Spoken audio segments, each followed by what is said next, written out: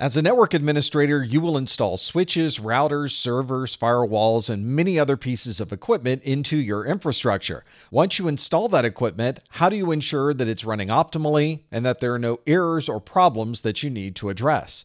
One of the ways to do that is by querying this device through a protocol known as SNMP. This is the Simple Network Management Protocol, and it is designed to provide a management interface to these devices over a standard set of protocols, regardless of who happens to manufacture that device. Usually, the network team will have a central network management console, and that management console will query devices via SNMP and ask information that it would like to receive. For example, it would request from a switch how many bytes have gone into a particular interface, and that device will respond back with a particular value, and that information is stored in the management station. The query that is being made to this device is querying a number of different parameters that are stored in what is known as a MIB. This is a management information base or a central database of data that is stored on that remote device. SNMP queries specific values in that database by referring to an object identifier. Sometimes you'll hear this referred to as an OID or an OID. All of this polling occurs over UDP port 161 and allows us to access any of the devices on our network and gather information about how those devices are performing. When configuring SNMP on your network management station, it may ask which version of SNMP that device is using. There are usually three different versions you can choose from. The first is the original version, or SNMP version 1. This provided a way to query those structured tables that are stored within the management information base on this device, but it sent all of that information across the network in the clear. There was no encryption associated with any of the transmission using SNMP version 1. A newer version of SNMP was released that we named SNMP version 2. You'll sometimes hear this referred to as SNMP version 2C. This is an improvement to SNMP version 1 because it's able to query large chunks of data and have a more efficient communication to that device. But that entire communication remained non encrypted or in the clear, so anybody tapping that connection would be able to see the entire communication. The latest version of SNMP is SNMP version 3. This provides encryption and a number of different cryptographic capabilities, such as message integrity and authentication. When we are performing a query to a device using SNMP, we need to refer to a specific variable that we would like to pull back to our management station. That individual variable is called an object identifier or an OID. That object identifier is a series of numbers. In fact, here is an OID 1.3.6.1.2.1.11.28.0. Each one of those numbers is associated with a particular set of values. For example, the 1 is ISO, 3 is org, 6 is DoD, 1 is internet, two is management, and so on. And you can go all the way down this line until you can see that we're looking for SNMP out get responses and that would be the number 28 at the end of that OID. This is how we're able to have hundreds or even thousands of different variables inside of that management information base, and we can query each of those variables individually by referring to their OID. Sometimes these object identifiers are very standardized across devices. One of these standards is the MIB2 standard. It's referred to here as the SNMP v2-MIB. That MIB2 standard is a set of OIDs that are identical across multiple devices. But sometimes a manufacturer has unique variables that are specific to that device. And in that case, the manufacturer will create their own OID. And so you'll need to refer back to the manufacturer's documentation to determine what OIDs are associated with what values within that MIB.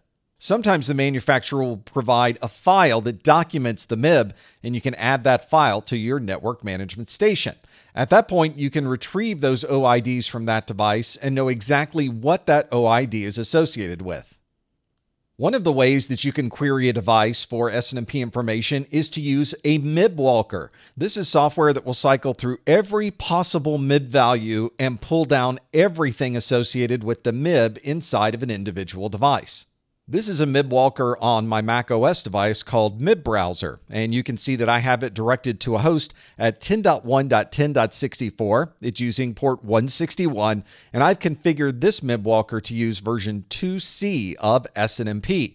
The default community string on this device is public, and my root OID is 1.3.6.1. And when I click the fetch button, it begins gathering information about every possible MIB value that could be contained on that device. And when it finds a match, it adds it to the list.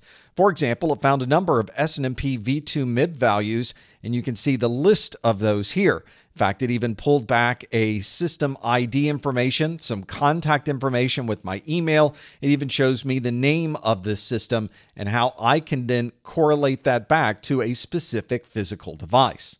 If we scroll down a bit in this list, we can even find individual variables as part of this MIB and see the individual values associated with each one of those. For example, SNMP in get requests has a total number of four, and SNMP in get next has a value of 1,540. If you start collecting that information over time, you can begin to build out very large visualizations of how the network may be performing.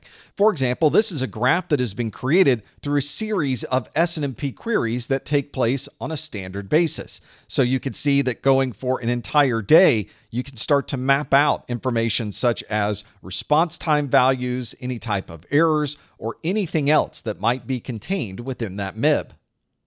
This implementation of SNMP assumes that your network management station will be querying all of your SNMP enabled devices on your network at regular intervals. It would be common, for example, for a management station to query every device on the network every minute, every five minutes, or whatever interval makes sense for your management station. But if there's a problem on that device, you may not know the problem has occurred until the next time you perform that poll. For that reason, you may want to configure a different feature of SNMP referred to as an SNMP trap.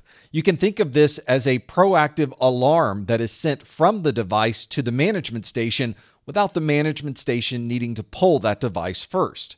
These SNMP traps use a different port number. They use UDP 162. For example, you could configure a switch or a router to look for a certain number of CRC errors to occur. And if you get a large number of errors, for example, it increases by five, that device will proactively send a trap message back to your network management station. As soon as that trap is received by the network management station, it can then alert other people on the network of the problem or start running scripts to help resolve whatever issue that might be. In the MIB walker that we were using earlier, there was a value that we were adding to that MIB walker to be able to gain access to that system. That value is referred to as a community string. You can think of this as a simple password that allows you access to the SNMP data on that device. You can usually set up multiple community strings within a device, so it's not unusual to have a read-only string such as public, there might be a read-write string such as private, and there might be a separate string that you would use for traps. These community strings are relatively simplistic and they're only used for SNMP version 1 and SNMP version 2 or version 2C. There are other ways to authenticate using newer versions of SNMP, and in SNMP version 3, we use a username and password that is sent across the network as a password hash. This is a much more secure way to authenticate, and if you're running SNMP in your environment, probably a good idea to use SNMP to have the most secure type of monitoring available.